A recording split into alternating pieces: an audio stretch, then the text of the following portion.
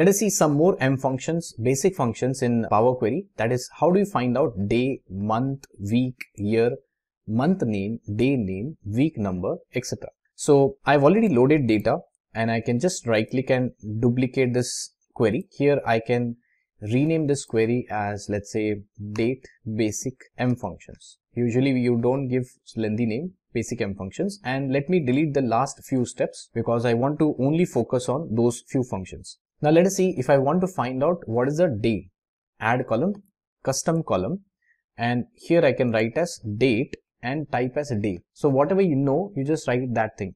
So date is compulsory because all the m function starts with day. So I can write as date dot day and you can see day of week, day of week name, this suggestions are there.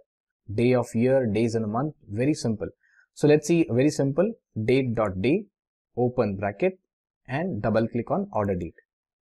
Close the bracket and click on OK. So this function will give you day from that particular date.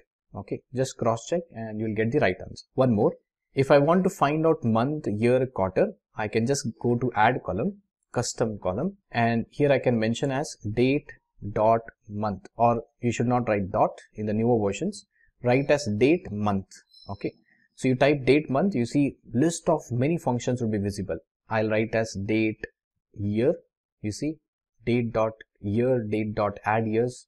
I can write as quarter, very simple functions and date week if you write week of month, week of year.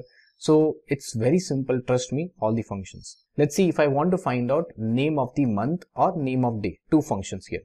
So I write as date and month and I don't know what is the name of that function, but it will give you a suggestion that is date dot month name. Open the bracket and double click on order date.